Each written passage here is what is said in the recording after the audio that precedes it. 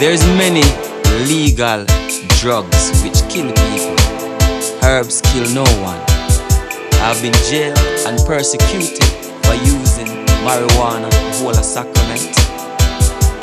And despite this injustice, I and I will always put I and I culture, I and I way of life first.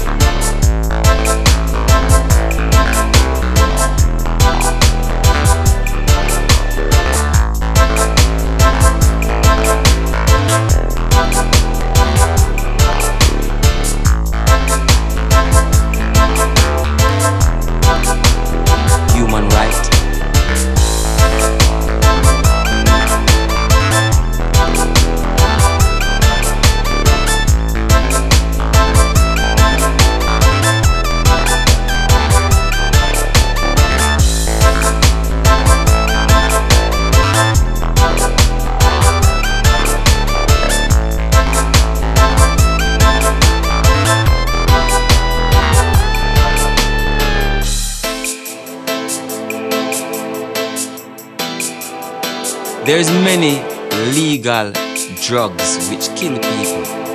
Herbs kill no one. I've been jailed and persecuted for using marijuana, whole sacrament. And despite this injustice, I and I will always put I and I culture, I and I way of life first.